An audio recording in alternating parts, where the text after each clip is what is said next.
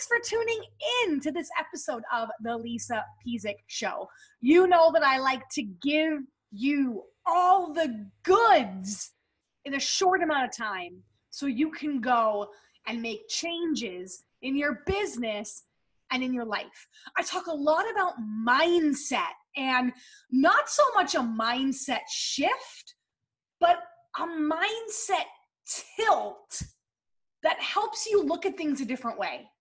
Because the worst thing we want is to be out of alignment in our business and we're hustling for the wrong reason, or we're not making the best decisions in our business and our life that bring us the most impact and income. And that's why today I want to briefly chat with you about feelings.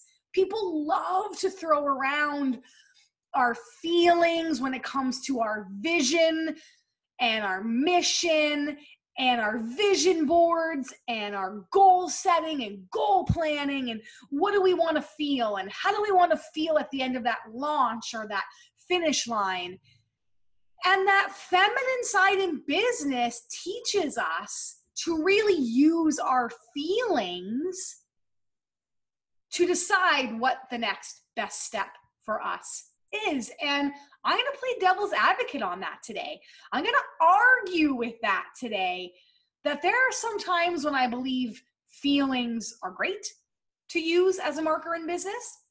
And there are times when I think our feelings don't matter and our feelings are not serving us the way that it should in business. So let me start with the easy one and say here's where I think you should use feelings when making decisions in your business.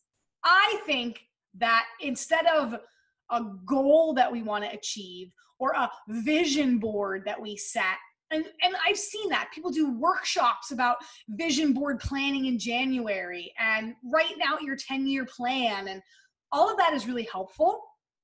But I think we get stuck on the to dos and we get stuck on a, a status or a title or an accomplishment not the feeling that that accomplishment is going to bring. So, the only time that I believe feelings play a significant factor when it comes to our business and our life is when we set a goal. Why do we want to achieve that? What feeling do we want to have? I can remember my very first mastermind event with Brendon Burchard. I was sitting at a table next to a New York Times best selling author and I was like, oh my God, I want to be a best selling author. Congratulations. Can you tell me a bit about that? What was that like? What did that bring for you? And his first question to me was, why? Why do you want to be a best selling author? and i'm like I, I, don't i don't i don't know i never really thought about it it's just to me a best-selling author means that your book got in a lot of people's hands and you're making impact and you're serving people and you're making a difference in this world. And he said to me, Do you need to be a best selling author to do that? And I'm like, mm, No, I guess not. And he said, You know, that's about a 10 to 12K process to become a New York Times best selling author. And at the time, which was two years ago, that was a lot, a lot, a lot of money to me. And I was like, oh my God, it's not going to cost me 15K to be a best selling author. Are you kidding me? Yeah, that's the process, he's telling me. And that opened up my eyes that it's not the fact that I want to be a best selling author, it's that I want to make a huge impact with my voice and my message and my story. And I want to, that legacy piece, I want to be in people's homes, a book on the shelf, right? For some of you like me that are nerdy and love personal development, you like covet that bookshelf in your house of all your amazing books. Like, I want to be on that bookshelf in people's house. I want to feel significant. I want to know that I'm leaving that legacy. I want to feel proud of the work that I put out. So that has nothing to do with being a best-selling author. Right? I want to be a TED speaker is another one a lot of people say. Are you tied to the fact that it's TED or TEDx, or you want your message to go viral. You want people to have access to your message 24 7. You want that feeling of, I did it, baby, I made it big. Those I think are more actionable goals that you can allow feelings to guide you with. And if that leads you to a bestseller or a TED talk, then awesome. Because the problem with feelings and how it trips us up is if we don't get then that New York Times bestseller or that TED talk, we feel less than. I can't tell you how many times people say to me, Lisa, I launched my program and I only got three people. And I'm like, only? That's three lives that you've changed. That's three people that might give you the best testimonial ever that's going to later be used in a launch where you're going to have 3,000 people. That may be a testimonial you use that you sell from stage and you do a $300,000 launch. So you can never discount that number. That launch can still be successful with three people. So that's where I think feelings can trip us up. And the other two ways, so that last way that I had written down, I was going to get to that later, but I kind of cut right to the chase, was we feel like it's not a winner right? That I only launched, you know, and three people bought it. It's not a winner. You don't know what impact and what ripple effect that's going to have on those three people. So I challenge you to get away from that number. Or vice versa. People say I have I have 10,000 followers on Instagram. And I'm like, "Great. How many of those 10,000 people buy when you put out an offer?" Because if you have 10,000 fans that never invest, I don't care about your 10K. I'd rather have 100 people and all 100 people buy. So you can't use your feelings to judge whether something is a winner or not. Now, what about feelings on your audience faces when you are speaking, when you are hosting workshops, when you are on video, when you're doing a summit interview, when you're physically in front of people or you can see that reaction, that's actually feelings are not a good judge of that. Sometimes we go, whoa, that was a tough crowd. And I know that happened for me when I first started sharing my signature story in business. And I was like, it's not the winner.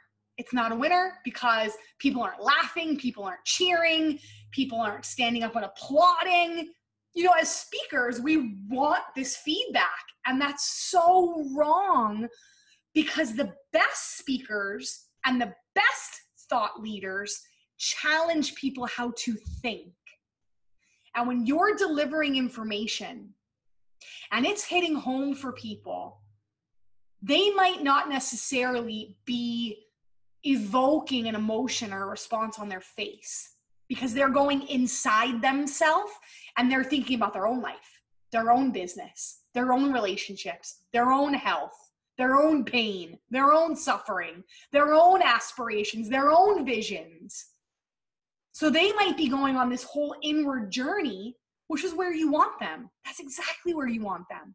So I can remember going back to my mentor, Bo Eason, saying, it's not the right story because I'm not getting any reaction out of people.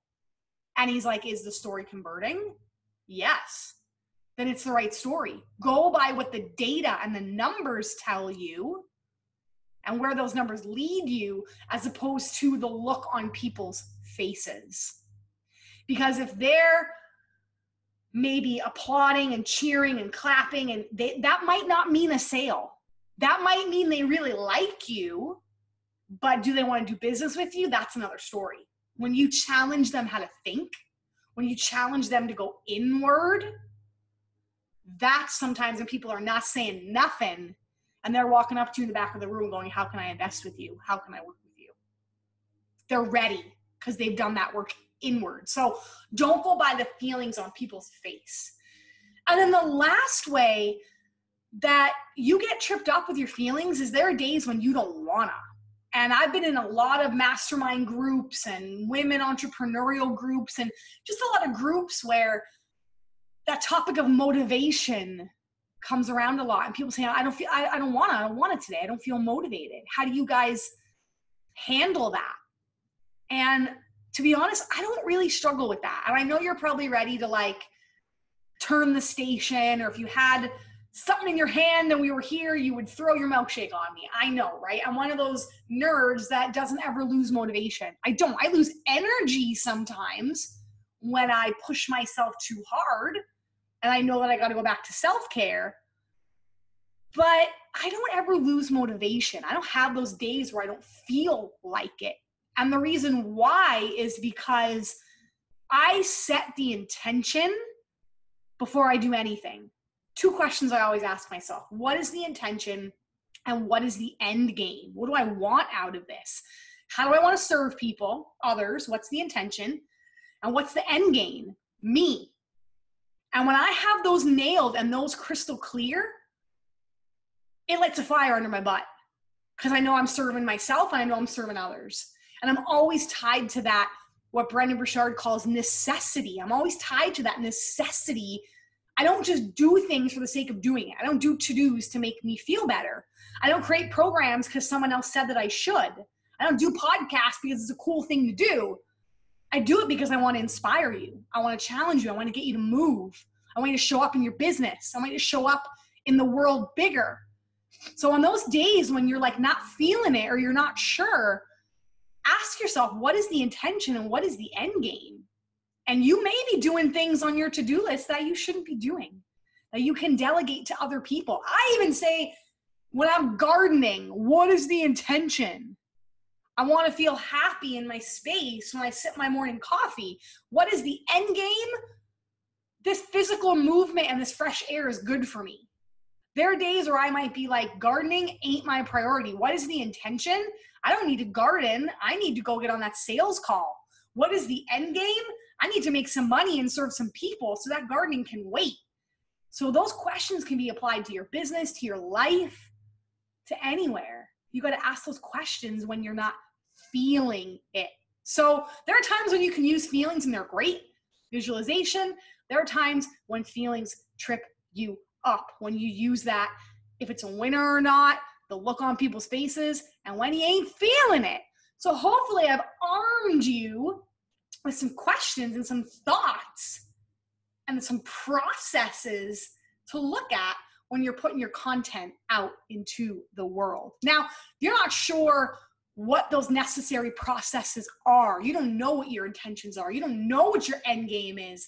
That's when you want to hop on a free 15 minute strategy session with Eric and I. I'm going to hold you to 15 minutes like this podcast was because as you can see, you can get a lot done and hammered out in 15 minutes when you're intentional.